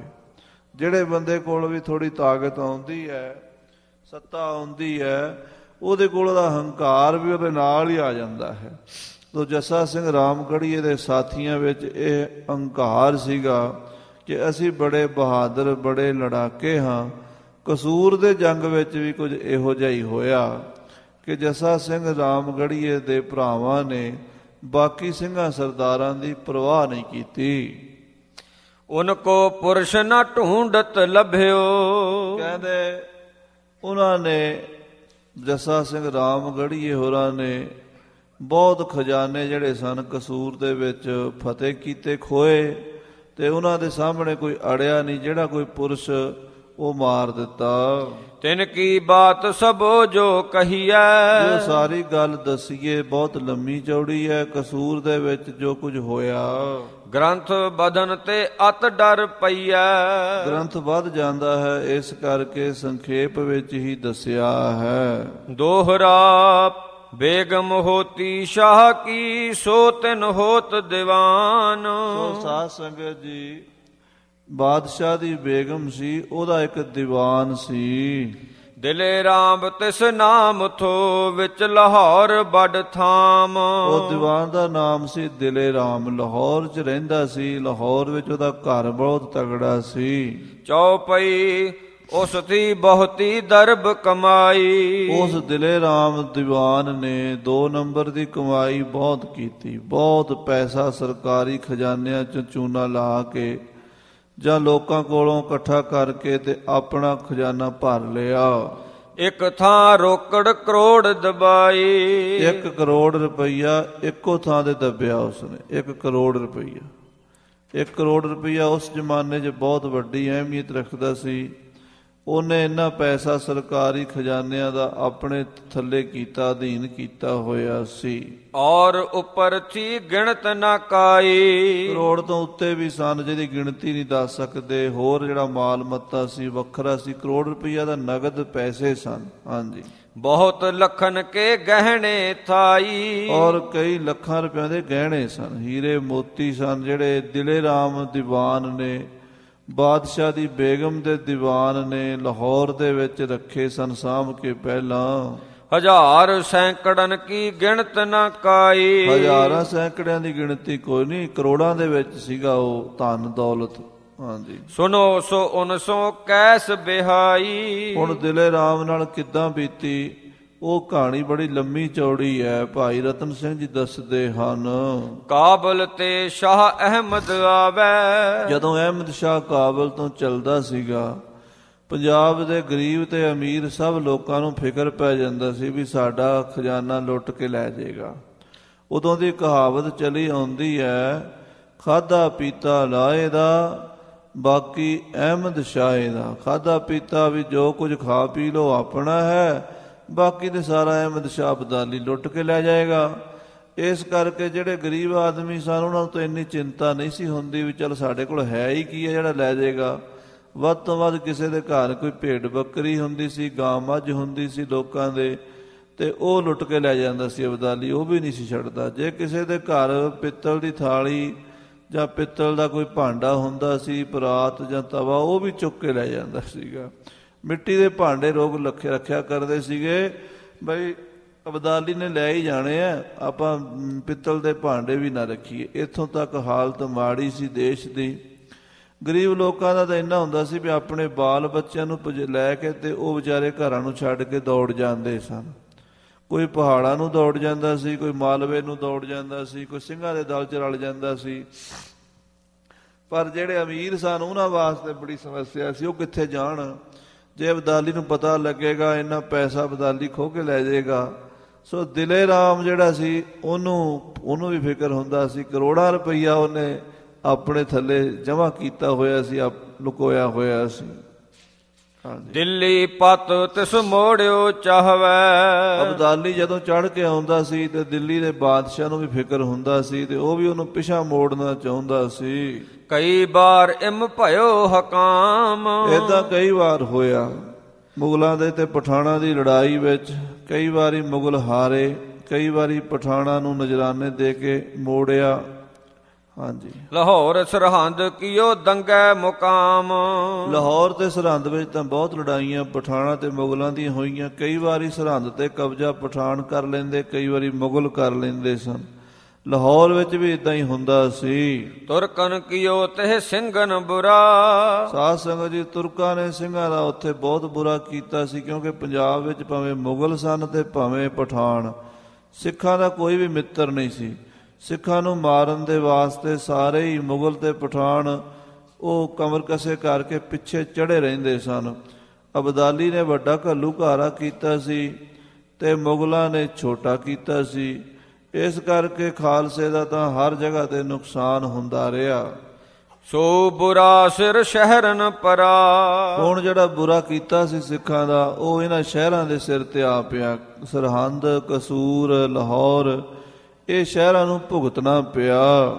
ਦੋਹਰਾ ਦੱਖਣ ਤੈ ਮਰਹੱਟੇ ਆਏ ਕਰਨ ਸ਼ਾਹੇ ਸੋ ਜੰਗ। ਦੱਖਣ ਤੋਂ ਮਰਟੇ ਆਏ। ਬਾਦਸ਼ਾਹ ਦੇ ਨਾਲ ਅਬਦਾਲੀ ਨਾਲ ਲੜਾਈ ਕਰਨ ਲਈ ਮਰਟਿਆਂ ਦੀ ਫੌਜ ਬਹੁਤ ਵੱਡੀ ਚੜ ਕੇ ਆਈ ਸੀ। ਪਰਦੇਸੀ ਮਿਤ ਦਰਬ ਕੇ ਭਏ ਲਾਹੌਰੀਏ ਤੰਗ। ਭਾਵੇਂ ਮਰਟੇ ਤੇ ਭਾਵੇਂ ਪਠਾਨ ਪੰਜਾਬੀ ਤੇ ਕੋਈ ਨਹੀਂ ਸੀ। ਪਰਦੇਸੀ ਸਨ। ਪਰਦੇਸੀ ਕਦੀ ਕਿਸੇ ਦਾ ਕੋਈ ਲਿਹਾਜ਼ ਥੋੜਾ ਕਰਦੇ ਆ। ਪਠਾਨ ਵੀ ਲੁੱਟਣ ਆਉਂਦੇ ਸੀ ਤੇ ਮਰਟੇ ਵੀ ਪੰਜਾਬ ਨੂੰ ਲੁੱਟਣ ਹੀ ਆਏ। ਉਹ ਪੰਜਾਬ ਦੀ ਮਦਦ ਕਰਨ ਨਹੀਂ ਆਏ ਲੁੱਟਣ ਆਏ। ਉਹਨਾਂ ਨੇ ਸਰਹੰਦ ਵੀ ਲੁੱਟਿਆ, ਜਲੰਧਰ ਵੀ ਲੁੱਟਿਆ, ਲਾਹੌਰ ਵੀ ਲੁੱਟਿਆ, ਮਰਟਿਆਂ ਨੇ ਵੀ ਲੁੱਟਿਆ। ਤੇ ਪਠਾਣਾ ਨੇ ਵੀ ਲੁੱਟਿਆ, ਪਠਾਣਾ ਨੇ ਕਈ ਵਾਰ ਲੁੱਟਿਆ। ਹੁਣ ਲਾਹੌਰੀਏ ਦੇ ਪੰਜਾਬੀ ਜਿਹੜੇ ਸਨ, ਤੰਗ ਹੋ ਗਏ, ਭਾਵੇਂ ਹਿੰਦੂ ਸਨ, ਭਾਵੇਂ ਮੁਸਲਮਾਨ ਸਨ, ਪੰਜਾਬ ਦੇ ਲੋਕ ਜਿਹੜੇ ਸਨ, ਉਹ ਇਸ ਗੱਲ ਤੋਂ ਤੰਗ ਸਨ ਵੀ ਬਗਾਨੇ ਆਉਂਦੇ ਨੇ, ਸਾਨੂੰ ਲੁੱਟ ਕੇ ਲੈ ਜਾਂਦੇ ਨੇ। ਸਾਡਾ ਖੁਰਾ ਖੋਜ ਮਿਟਾ ਜਾਂਦੇ ਨੇ ਕਈ ਕਈ ਸਾਲ ਅਸੀਂ ਰੋਟੀ ਖਾਣ ਜੋਗੇ ਨਹੀਂ ਰਹਿੰਦੇ। ਇਦਾਂ ਦੀ ਹਾਲਤ ਸੀ ਪੰਜਾਬ ਦੇ ਵਿੱਚ। ਚੌਪਈ ਮਰਹੱਟੇ ਤਲਬ ਨੇ ਬਾਬੋਂ ਲੇਹ। ਮਰਾਟੇ ਜਿਹੜੇ ਸਨ ਉਹ ਲਾਹੌਰ ਦੇ ਨਵਾਬਾਂ ਕੋਲੋਂ ਸਰਹੰਦ ਦੇ ਨਵਾਬਾਂ ਕੋਲੋਂ ਦਿੱਲੀ ਦੇ ਨਵਾਬ ਗਾਜ਼ੀਦੀਨ ਕੋਲੋਂ ਬਹੁਤ ਪੈਸਾ ਲੈਂਦੇ ਸਨ। ਨਿਬਾਬ ਕਹੇ ਲੈ ਲਾਹੌਰੋਂ ਦੇਹ ਤੇ ਗਾਜ਼ੀਦੀਨ ਜਿਹੜਾ ਸੀ ਉਹ ਵੀ ਬੇਈਮਾਨ ਹੋ ਗਿਆ ਤੇ ਉਹ ਮਰਟਿਆਂ ਨੂੰ ਕਹਿੰਦਾ ਸੀ ਮੈਂ ਤੁਹਾਨੂੰ ਲਾਹੌਰ ਤੋਂ ਲੈ ਕੇ ਦਿਆਂਗਾ ਪੈਸੇ। ਉਹ ਵੀ ਜਿਹੜਾ ਮਰਟਿਆਂ ਦਾ ਖਰਚਾ ਉਹ ਵੀ ਪੰਜਾਬ ਸਰਕਾਰ ਦੇ ਸਿਰ ਹੀ ਪੈਂਦਾ ਸੀ। ਇਸ ਡਰ ਲਾਹੌਰੋਂ ਟਕਾ ਨਿਕਾਰਾ। ਦਿਲੇ ਰਾਮ ਨੂੰ ਪਤਾ ਲੱਗਾ ਵੀ ਲਾਹੌਰ ਦੇ ਵਿੱਚ ਮਰਟੇ ਵੀ ਹੱਥ ਮਾਰ ਸਕਦੇ ਆ ਤੇ ਪਠਾਨ ਵੀ। ਦਿਲੇ ਰਾਮ ਨੇ ਆਪਣਾ ਪੈਸਾ ਜਿੰਨਾ ਵੀ ਸੀ ਉਹ ਲਾਹੌਰ ਤੋਂ ਸ਼ਿਫਟ ਕਰ ਲਿਆ। ਸ਼ਾਹਨ ਕਸੂਰ ਮੇ ਬਹੁਤ ਦਾਰਾ। ਕਸੂ ਕਸੂਰ ਸ਼ਹਿਰ ਦੇ ਵਿੱਚ ਉੱਥੇ ਜਾ ਕੇ ਦਿਲੇ ਰਾਮ ਨੇ ਆਪਣੀ ਹਵੇਲੀ ਬਣਾ ਲਈ ਤੇ ਪੈਸਾ ਸਾਰਾ ਉੱਥੇ ਜਾ ਕੇ ਜਮ੍ਹਾਂ ਕਰ ਲਿਆ।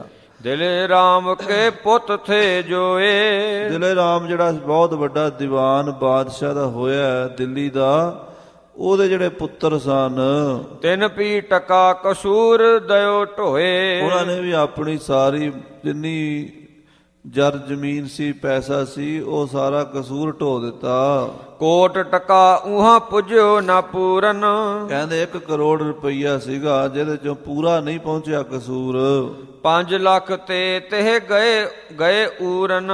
5 ਲੱਖ ਘਾਟ ਯਾਨੀ 95 ਲੱਖ ਰੁਪਈਆ ਜਿਹੜਾ ਸੀ ਉਹ ਦਿਲੇ ਰਾਮ ਦਾ ਕਸੂਰ 'ਚ ਪਹੁੰਚ ਚੁੱਕਾ ਸੀ। ਉਸ ਵੇਲੇ ਜਦੋਂ ਖਾਲਸੇ ਨੇ ਕਸੂਰ ਤੇ ਹੱਲਾ ਬੋਲਿਆ ਗਹਿਣੋ ਕਈ ਲੱਖ ਕੋ ਗਇਓ। ਕਈ ਲੱਖ ਦਾ ਗਹਿਣਾ ਸੋਨਾ ਚਾਂਦੀ ਹੀਰੇ ਮੋਤੀ ਸਨ। ਹੋ ਅਣਗਿਣਤ ਨਾ ਲਿਖਣੋ ਆਇਓ। ਅਣਗਿਣਤ ਸਨ ਕਵੀ ਜੀ ਕਹਿੰਦੇ ਮੈਂ ਲਿਖ ਨਹੀਂ ਸਕਦਾ ਮੈਨੂੰ ਇੰਨਾ ਪਤਾ ਨਹੀਂ ਵੀ ਕਿੰਨੇ ਸਨ ਪਰ 95 ਲੱਖ ਨਗਦ ਦਾ ਤਾਂ ਪੱਕਾ ਪਤਾ ਹੈ ਤੇ ਬਾਕੀ ਹੀਰੇ ਮੋਤੀ ਜਵਾਹਰਾਤ ਉਹ ਵੀ ਕਈ ਲੱਖਾਂ ਦੇ ਸਨ ਕਬੀਲੇ ਭੀ ਉਹਾਂ ਦਏ ਕਲਾਏ। ਔਰ ਦਿਲੇ ਰਾਮ ਦੀਵਾਨ ਦੀਆਂ ਜਿਹੜੀਆਂ ਨੋਹਾਂ ਸੀਗੀਆਂ ਉਹਦੇ ਪਰਿਵਾਰ ਸਨ ਉਹ ਵੀ ਉਹਨਾਂ ਨੇ ਉੱਥੇ ਭੇਜ ਦਿੱਤੇ। ਕਸੂਰ ਆਕੀ ਲਖ ਤਹ ਬਹਿ ਜਾਏ। ਉਹ ਸਾਰੇ ਇਸ ਕਰਕੇ ਕਸੂਰ 'ਚ ਜਾ ਬੈਠੇ ਸਨ ਵੀ ਕਸੂਰ ਦੇ ਵਿੱਚ ਨਾ ਤਾਂ ਮਰਟਿਆਂ ਦਾ ਖਤਰਾ ਹੈ ਤੇ ਨਾ ਪਠਾਣਾ ਦਾ। ਤੇ ਸਿੱਖਾਂ ਦੀ ਤਾਂ ਇੰਨੀ ਹਿੰਮਤ ਨਹੀਂ ਵਿਚਾਰੇ ਜਾ ਕੇ ਲੁੱਟ ਲੈਣਗੇ। ਉਹਨਾਂ ਨੂੰ ਸਿ- ਸਿੱਖਾਂ ਬਾਰੇ ਸੁ- ਸੁਪਨਾ ਵੀ ਨਹੀਂ ਸੀ ਵੀ ਸਿੱਖ ਵੀ ਕਸੂਰ ਲੁੱਟ ਲੈਣਗੇ। ਸਿੱਖਾਂ ਦੀ ਗਿਣਤੀ ਥੋੜੀ ਸਮਝਦੇ ਸਨ। ਤੇ ਅਬਦਾਲੀ ਦੀ ਗਿਣਤੀ 2.5 2.5 ਲੱਖ ਫੌਜ ਆਉਂਦੀ ਸੀ। ਮਰਟਿਆਂ ਦੀ 2-2 ਲੱਖ 2.5 2.5 ਲੱਖ ਫੌਜ ਆਉਂਦੀ ਸੀ। ਜੇ ਉਹ ਨਹੀਂ ਲੁੱਟ ਸਕਦੇ, ਤੇ 10-20 ਹਜ਼ਾਰ ਸਿੱਖਾਂ ਦਾ ਕਿਆ ਹਿੰਮ- ਹੌਸਲਾ ਪਏਗਾ। ਇਸ ਕਰਕੇ ਜਿੰਨਾ ਪੈਸੇ ਵਾਲੇ ਲੋਕ ਸਨ ਉਹਨਾਂ ਨੇ ਆਪਣਾ ਪੈਸਾ ਜਿਹੜਾ ਸੀ ਉਹ ਕਸੂਰ ਸ਼ਹਿਰ ਦੇ ਵਿੱਚ ਸੇਵ ਕੀਤਾ ਹੋਇਆ ਸੀ। ਸਮੇ ਕਰਤੇ ਕੋ ਐਸੋ ਭਇਓ। ਪਰ ਪਰਮੇਸ਼ਰ ਨੇ ਜੋ ਕੁਝ ਕਰਨਾ ਹੁੰਦਾ ਹੈ ਉਹਨੂੰ ਟਾਲ ਕੋਈ ਨਹੀਂ ਸਕਦਾ। ਕਰਤੇ ਪੁਰਖ ਦੀ ਖੇਡ ਹੈ। ਕਰਤਾ ਜੋ ਕਰਤਾ ਹੈ ਨਾ ਉਹ ਆਪਣੀ ਬਿਉਂਤ ਬਣਾ ਕੇ ਪਹਿਲਾਂ ਹੀ ਰੱਖਦਾ ਸਿੰਘਾਂ ਦੇ ਖਜ਼ਾਨੇ ਭਰਨੇ ਸਨ। ਤਾਂ ਸਮਝੋ ਖਜ਼ਾਨੇ ਸਾਰੇ ਉੱਥੇ ਇਕੱਠੇ ਹੋ ਗਏ। ਰਹਿਣੋ ਨਹਿ ਥੋ ਸੋ ਉਹਾਂ ਗਇਓ। ਸੋ ਉਸ ਰਹਿਣਾ ਨਹੀਂ ਸੀ ਨਾ ਦਿਲੇ ਰਾਮ ਦੇ ਕੋਲ ਪੈਸਾ, ਲੋਕਾਂ ਦੇ ਹੋਰਾਂ ਦੇ ਕੋਲ ਵੀ। ਉਹ ਸਾਰਾ ਲੋਕਾਂ ਨੇ ਜਾ ਕੇ ਕਸੂਰ ਵਿੱਚ ਜਮ੍ਹਾਂ ਕਰ ਦਿੱਤਾ। ਜਿਵੇਂ ਬਾਣੀ 'ਚ ਬਚਨ ਆਉਂਦਾ ਨਾ, ਸੰਚਿਤ ਸੰਚਿਤ ਥੈਲੀ ਕੀਨੀ, ਪ੍ਰਭ ਉਸ ਤੇ ਡਾਰ, ਅਵਰ ਕੋ ਦੀਨੀ। ਲੋਕ ਜੋੜਦੇ ਜੋੜਦੇ ਮਰ ਜਾਂਦੇ, ਪਰਮੇਸ਼ਰ ਚੁੱਕ ਕਿਸੇ ਹੋਰ ਦੇ ਹੱਥ ਫੜਾ ਦਿੰਦਾ ਹੈ। ਸਾਥ ਲੈ ਜਾਣੇ ਥੇ ਉਸਕੇ ਪ੍ਰਾਣ। ਨਾਲ ਉਹਨਾਂ ਦੀ ਜਾਨਾਂ ਵੀ ਜਾਣੀਆਂ ਸਨ ਦਿਲੇ ਰਾਮ ਦੀ ਜਾਨ ਵੀ ਜਾਣੀ ਸੀ। ਉਨ ਪਰ ਆਉ ਬਿਦ ਪਹੁੰਚੀ ਆਣ। ਸੋ ਇਹੋ ਜਿਹਾ ਸਮਾਂ ਕਸੂਰ ਦੇ ਵਿੱਚ ਆ ਪਹੁੰਚਿਆ। ਦੋਹਰਾ ਹਵੇਲੀ ਦਿਲੇ ਸੋ ਰਾਮ ਕੀ ਲਈ ਸੋ ਪਹਿਲੇ ਲੂਟ। ਸੋ ਹਵੇਲੀ ਦਿਲੇ ਰਾਮ ਦੀ ਹਵੇਲੀ ਜਿਹੜੀ ਕਸੂਰ ਦੇ ਵਿੱਚ ਸੀ ਉਹ ਪਹਿਲਾਂ ਲੁੱਟ ਲਈ। ਖਬਰ ਸਰਦਾਰਨ ਜਬ ਭਈ ਰੱਖੀ ਆਮ ਤੈ ਹੂਟ। ਜਦੋਂ ਸਿੰਘਾਂ ਸਰਦਾਰਾਂ ਨੂੰ ਪਤਾ ਲੱਗਾ ਵੀ ਲੋਕ ਤਾਂ ਦਿਲੇ ਰਾਮ ਦੀ ਹਵੇਲੀ 'ਚ ਬੜੀ ਮਾਲ ਮੱਤਾ ਬਹੁਤ ਚੁੱਕ ਰਹੇ ਪੈਸਾ ਬਹੁਤ ਹੈ ਤਾਂ ਫਿਰ ਜਥੇਦਾਰ ਹਰੀ ਸਿੰਘ ਜੱਸਾ ਸਿੰਘ ਰਾਮਗੜੀਏ ਸਾਰਿਆਂ ਨੇ ਪਹਿਰਾ ਲਾ ਦਿੱਤਾ ਉੱਥੇ ਵੀ ਇਹ ਹਵੇਲੀ ਨਹੀਂ ਲੁੱਟਣੀ ਪਾਈ ਇਹ ਸਰਕਾਰ ਦਾ ਖਜ਼ਾਨਾ ਹੈ। ਚੌਪਈ ਪਹਿਲੋਂ ਲੁਟੇਰੇ ਬੜੇ ਸੁਜਾਏ। ਬਾਬਾ ਹਰੀ ਸਿੰਘ ਤੋਂ ਪਹਿਲਾਂ ਹੀ ਦੂਜੇ ਪਿੰਡਾਂ ਵਾਲੇ ਲੁਟੇਰੇ ਜਾ ਵੜੇ ਸਨ ਉਸ ਹਵੇਲੀ ਵਿੱਚ। ਤਿਨ ਤਹਲੀ ਨੇ ਹੱਥ ਰੰਗਾਏ। ਉਹਨਾਂ ਨੇ ਉੱਥੋਂ ਬਹੁਤ ਸਾਰਾ ਮਾਲ ਮੱਤਾ ਚੁੱਕ ਲਿਆ। ਕਿਨ ਝੋਲੀ ਕਿਨ ਮਗਰੀ ਭਈ ਭਰੀ। ਕਿਸੇ ਨੇ ਤੇ ਆਪਣੀ ਝੋਲੀ 'ਚ ਹੀ ਪਾ ਲਿਆ ਤੇ ਕਿਸੇ ਨੇ ਪੰਡ ਬੰਨ ਕੇ ਮਗਰੇ ਪਿੱਛੇ ਲਾ ਲਈ ਕਿਨ ਮੋਢੇ ਕਿਨ ਸਿਰ ਪਰ ਧਰੀ। ਕਿਸੇ ਮੋਢੇ ਧਰੀ ਤੇ ਕੋਈ ਸਿਰ ਤੇ ਧਰੀ ਜਾਂਦਾ ਹੈ। ਕਿਨ ਚਾਂਦੀ ਕਿਨ ਸੋਹਣੋ ਪਾਇਓ। ਕਿਸੇ ਨੇ ਚਾਂਦੀ ਲੱਭੀ ਤੇ ਚੁੱਕ ਲਈ ਕਿਸੇ ਨੇ ਸੋਨਾ ਚੁੱਕ ਲਿਆ। ਜੋ ਪਹੁੰਚੋ ਸੋ ਆਇਓ ਅਗਾਇਓ। ਜਿਹੜਾ ਵੀ ਆ ਉੱਥੇ ਗਿਆ ਉਹ ਰੱਜ ਕੇ ਹੀ ਆਇਆ। ਦਿਲੇ ਰਾਮ ਦੀ ਹਵੇਲੀ 'ਚ ਮਾਲ ਹੀ ਬਹੁਤ ਸੀ। ਧਰ ਧਰ ਗਠਰੀ ਫਿਰ ਫਿਰ ਜਾਹੇ। ਉਹ ਗੰਢੜੀਆਂ ਧਰ ਧਰ ਕੇ ਦੁਬਾਰਾ ਲੈਣ ਚਲੇ ਜਾਂਦੇ ਐ। ਕਈਨ ਤੇ ਲੈ ਸਰਦਾਰ ਕਬ ਜਾਹੇ। ਤੇ ਸਰਦਾਰ ਖੋ ਲੈਂਦੇ ਉਹਨਾਂ ਦੇ ਕੋਲੋਂ ਕਈਆਂ ਦੇ ਕੋਲੋਂ। ਤਬੈ ਸਰਦਾਰਨ ਯੋਂ ਲਖ ਲਈ। ਸਰਦਾਰਾਂ ਨੂੰ ਪਤਾ ਲੱਗਿਆ ਵੀ ਇੱਥੇ ਤਾਂ ਬਹੁਤ ਮਾਲ ਪਿਆ ਹੈ। ਇਹਾਂ ਦੌਲਤ ਕਿਤ ਇਕੱਠੀ ਪਈ। ਇੱਥੇ ਕਿਦੋਂ ਵੱਡਾ ਹੀ ਖਜ਼ਾਨਾ ਇਕੱਠਾ ਕਰਕੇ ਰੱਖਿਆ ਹੋਇਆ ਜਾਪਦਾ ਹੈ। ਖੋਹੀ ਖੋਹਾ ਖੋਹੀ ਕਿਛ ਸਰਦਾਰਨ ਕਰੀ। ਉਥੇ ਸਿੰਘਾਂ ਸਰਦਾਰਾਂ ਵਿੱਚ ਵੀ ਖੋਆ ਖਾਈ ਹੋ ਗਈ ਸਭ ਖੋ ਲਿਆ ਉਹਨਾਂ ਨੇ। ਇਮ ਸਰਦਾਰਨ ਕਿਛ ਹੱਥ ਪਰੀ। ਉਹ ਮਾਇਆ ਕੁਝ ਪੈਸਾ ਕੁਝ ਸੋਨਾ ਚਾਂਦੀ ਸਰਦਾਰਾਂ ਦੇ ਹੱਥ ਚੜ ਗਿਆ। ਸਰਦਾਰਨ ਤੇ ਭੀ ਰੱਖੀ ਨਾ ਗਈ। ਸਰਦਾਰਾਂ ਕੋਲੋਂ ਵੀ ਸਾਂਭੀ ਨਹੀਂ ਗਈ। ਫੌਜ ਸਰਦਾਰਨ ਪਾਸ ਨਾ ਰਹੀ। ਸਰਦਾਰਾਂ ਦੀ ਫੌਜ ਵੀ ਸਰਦਾਰਾਂ ਤੋਂ ਪਰੇ ਹੋ ਗਈ ਦੂਰ ਹੋ ਗਈ। ਆਪੋ ਆਪਸ ਲੁੱਟਣ ਗਈ। ਆਪੋ ਆਪਣੀ ਫੌਜ ਵੀ ਲੁੱਟਣ ਚਲੀ ਗਈ ਇਸ ਤਰ੍ਹਾਂ ਦੀ ਹਾਲਤ ਬਣ ਗਈ ਉੱਥੇ। ਅਕੇਲਨ ਤੇ ਨਹ ਆਮ ਹਟਈ। ਹੁਣ ਸਰਦਾਰਾਂ ਕੋਲੋਂ ਵੀ ਆਮ ਫੌਜ ਰੁਕਦੀ ਨਹੀਂ ਹੁੰਦੀ ਜਦੋਂ ਲੁੱਟਮਾਰ ਦਾ ਮਸਲਾ ਆ ਜਾਂਦਾ ਜਿਹਦਾ ਹੱਥ ਜੋ ਆਉਂਦਾ ਲੈ ਜਾਂਦਾ ਹੈ। ਦੋਹਰਾ ਫੌਜ ਲੁੱਟ ਸਭ ਰਾਜ ਮੁੜੀ ਪਾਸ ਆਈ ਸਰਦਾਰਨ ਕੇਰ। ਜਦੋਂ ਫੌਜ ਸਾਰੀ ਲੁੱਟ ਕੇ ਵਾਪਸ ਸਰਦਾਰਾਂ ਕੋਲ ਆਈ ਦੱਬੀ ਕੁੱਟੀ ਜੋ ਰਹੀ ਲਈ ਸਰਦਾਰਨ ਘੇਰ। ਜੋ ਦੱਬੀ ਘੁੱਟੀ ਸੀ ਫੌਜ ਜਿਨ੍ਹਾਂ ਕੋਲ ਸੀਗਾ ਸਰਦਾਰਾਂ ਨੇ ਘੇਰ ਲਿਆ ਲਿਆਓ ਇੱਥੇ ਰੱਖੋ ਸਾਰਾ। ਤੁਸੀਂ ਕਿੱਥੇ ਲੈ ਕੇ ਜਾਓਗੇ? ਤੁਹਾਨੂੰ ਤਨਖਾਹ ਦੇ ਦੇਾਂਗੇ ਹਿੱਸਾ ਦੇ ਦੇਾਂਗੇ ਬਸ ਸਾਰੀ ਮਾਇਆ ਥੋੜਾ ਤੁਹਾਨੂੰ ਦੇਣੀ ਹੈ। ਇਦਾਂ ਉੱਥੇ ਫਿਰ ਗੱਲ ਬਣ ਗਈ ਕਸੂਰ ਦੇ ਵਿੱਚ। ਚੌਪਈ ਰਾਮ ਗੜੀਏ ਆਓ ਮਿਸਲ ਕਨਈਏ। ਜਿਹੜੇ ਰਾਮ ਗੜੀਏ ਤੇ ਕਨਈਆ ਦੀ ਮਿਸਲ ਸੀ। ਕਨਈਆ ਸਾਧ ਸੰਗਤ ਜੀ ਜਿਹੜਾ ਮਹਾਰਾਜਾ ਰਣਜੀਤ ਸਿੰਘ ਦੀ ਸੱਸ ਹੋਈ ਹੈ ਨਾ, ਸਦਾ ਕੌਰ, ਉਹ ਕਨਈਆ ਦੀ ਮਿਸਲ ਚ ਰਾਣੀ ਹੋਈ ਹੈ। ਉਹਦਾ ਪਤੀ ਗੁਰਬਖਸ਼ ਸਿੰਘ ਸੀ ਤੇ ਸਦਾ ਕੌਰ ਦਾ ਸਹੁਰਾ ਜੈ ਸਿੰਘ ਉਸ ਵੇਲੇ ਪੰਥ ਦਾ ਆਗੂ ਸੀਗਾ, ਜਦੋਂ ਦੀ ਇਹ ਗੱਲ ਹੈ। ਤੇ ਕਨਈਆ ਦੀ ਤੇ ਰਾਮਗੜੀਆਂ ਦੀ ਥੋੜੀ ਆਪਸ ਜਾਣ ਪਛਾਣ ਸੀ। ਇਹ ਦੋਵਾਂ ਦਾ ਬਟਾਲੇ ਦਾ ਇਲਾਕਾ ਕ- ਬਟਾਲੇ, ਪਹਿਲਾਂ ਰਾਮਗੜੀਆਂ ਦਾ ਰਾਜ ਰਿਹਾ ਤੇ ਬਾਅਦ ਵਿੱਚ ਕਨਈਆਂ ਦਾ ਉੱਥੇ ਹੀ ਰਾਜ ਰਿਹਾ। ਸਦਾ ਕੌਰ ਸਾਰੀ ਉਮਰ ਬਟਾਲੇ ਰਹੀ ਹੈ। ਉੱਥੇ ਉਹਦੀ ਹਵੇਲੀ ਹੁਣ ਵੀ ਮੌਜੂਦ ਹੈ। ਕਰਤ ਡੇਰੇ ਤੇ ਇੱਕ ਥਾਂ ਵਈਏ। ਇਹ ਦੋਵੇਂ ਮਿਸਲਾਂ ਕਨਈਏ ਤੇ ਰਾਮਗੜੀਏ ਨੇੜੇ ਨੇੜੇ ਡੇਰਾ ਕਰਦੇ ਸੀ ਇਕੱਠਾ ਹੀ ਲੰਗਰ ਪਕਾਉਂਦੇ ਤੇ ਖਾਂਦੇ ਸੀ। ਅੱਧੋ ਅੱਧੀ ਆਈ ਚੀਜ਼ਾਂ ਕਰੈ। ਜਿਹੜੀ ਚੀਜ਼ ਲੁੱਟਮਾਰ ਇਹਨਾਂ ਨੂੰ ਦੋਵਾਂ ਮਿਸਲਾਂ ਨੂੰ ਮਿਲਦੀ ਸੀ ਰਾਮਗੜੀਏ ਤੇ ਕਨਈਏ ਅੱਧੀ ਅੱਧੀ ਵੰਡ ਲਿਆ ਕਰਦੇ ਸਨ। ਇਮ ਕਰ ਉਨ ਵੱਡ ਮਤਲਬ ਸਰੈ। ਇਹਨਾਂ ਦਾ ਕੰਮ ਸਰ ਜਾਂਦਾ ਸੀ ਦੋਵਾਂ ਮਿਸਲਾਂ ਦਾ ਕਨਈਆ ਮਿਸਲ ਦਾ ਤੇ ਰਾਮਗੜੀਆ ਮਿਸਲ ਦਾ। ਲੰਗਰ ਵੀ ਇਕੱਠਾ ਹੁੰਦਾ ਸੀ ਲਗਭਗ ਤੇ ਲੁੱਟਮਾਰ ਇਕੱਠੀ ਕਰਕੇ ਕੱਟ ਵੰਡ ਲੈਂਦੇ ਸਨ। ਜਿਮ ਕਰ ਉਨ ਕੋ ਹੋਏ ਰਹਿਓ ਮੇਲ।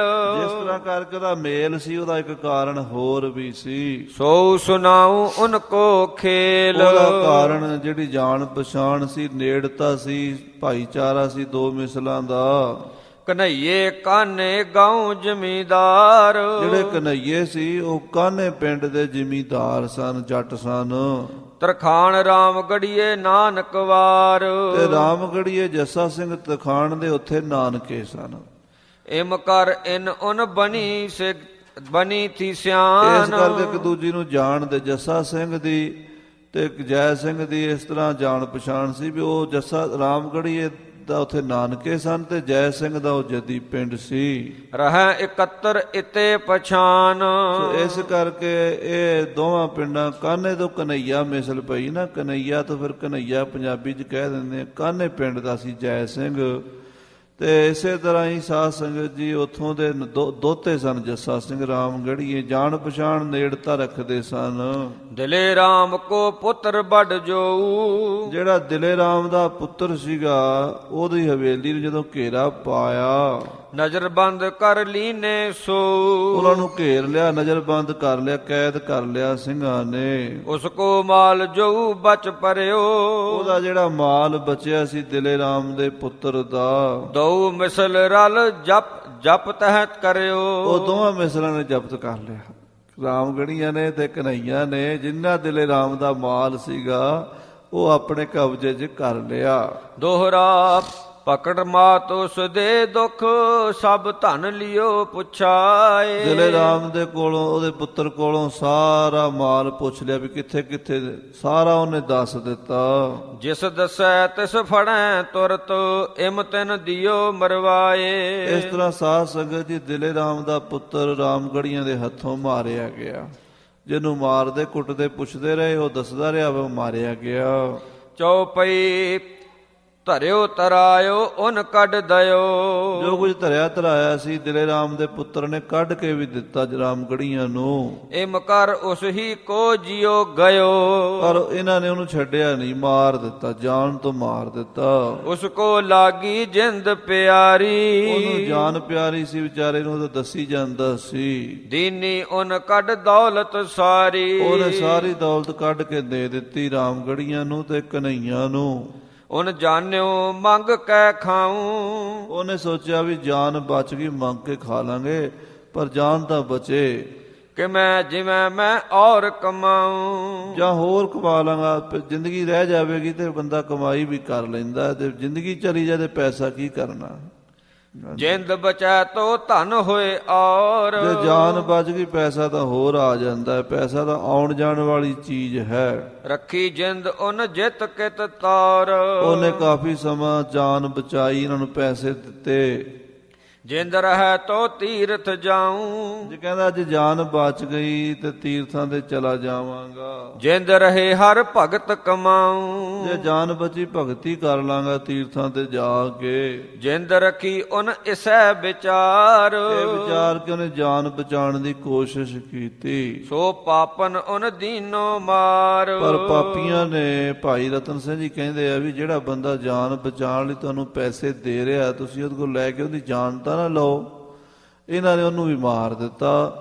ਪੈਸਾ ਵੀ ਲੈ ਲਿਆ, ਉਹਦੀ ਜਾਨ ਵੀ ਲੈ ਲਈ। ਜਿਹਦੇ ਕਰਕੇ ਫਿਰ ਇਹਨਾਂ ਦਾ ਤਪ ਤੇਜ ਘਟ ਗਿਆ। ਸਿੰਘਾਂ ਦੇ ਵਿੱਚ ਫਿਰ ਕਹਿੰਦੇ ਆ ਵੀ ਇਹ ਬਦਨਾਮ ਹੋ ਗਏ। ਜਿਮ ਉਨ ਮਾਰਿਓ ਤਿਮ ਮੈਂ ਕਹੂੰ। ਜਿਵੇਂ ਉਸ ਨੂੰ ਮਾਰਿਆ ਉਹ ਦੱਸਦੇ ਹਨ। ਦਗਾ ਕੀਓ ਜਿਮ ਤਿਮ ਲਿਖਵੋ ਜੋ ਦਗਾ ਕਰਕੇ ਮਾਰਿਆ ਉਹ ਲਿਖਦੇ ਹਨ। ਲੋਭ ਲਹਿਰ ਮੈਂ ਜਿਮ ਰੁੜ ਗਏ। ਲੋਭ ਲਹਿਰ ਜਿਹੜੀ ਲਾਲਚ ਦੀ ਨਦੀ ਹੈ ਇਹਦੇ ਵਿੱਚ ਰੁੜ ਗਏ ਰਾਮਗੜੀਏ ਸਰਦਾਰ ਦੇ ਭਰਾ। ਵਹੀ ਪਦਾਰਥ ਇਹਾਂ ਰਹੇ ਉਹ ਪਏ ਪਦਾਰਥ ਇੱਥੇ ਹੀ ਰਹਿ ਗਏ ਕਿਉਂਕਿ ਮਾਇਆ ਦਾ ਨਾਲ ਨਹੀਂ ਜਾਣੀ ਬੰਦੇ ਦਾ ਈਮਾਨ ਨਾਲ ਜਾਂਦਾ ਹੈ। ਸੋ ਖਾਲਸਾ ਜੀ, ਇਸ ਤਰ੍ਹਾਂ ਕਸੂਰ ਸ਼ਹਿਰ ਦੇ ਵਿੱਚ ਇੱਕ ਪਾਣੇ ਵਰਤੇ ਹਨ। ਝਗੜਾ ਬਹੁਤ ਹੋ ਗਿਆ ਆਪਸ ਵਿੱਚ ਸਿੰਘਾਂ ਦਾ। ਬਾਅਦ ਵਿੱਚ ਜੱਸਾ ਸਿੰਘ ਆਲੂ ਵਾਲੀਏ ਨੇ ਆ ਕੇ ਫੈਸਲਾ ਕਰਵਾਇਆ। ਉਹ ਕਥਾ ਅਗਲੇ ਪ੍ਰਕਰਣਾਂ ਵਿੱਚ ਸਰਵਣ ਕਰਾਂਗੇ। ਸਮੇਂ ਦੇ ਲਿਹਾਜ਼ ਨਾਲ ਸਮਾਪਤੀ। ਹੈ ਗੋਬਿੰਦ, ਹੈ ਗੋਪਾਲ, ਹੈ ਦਇਆ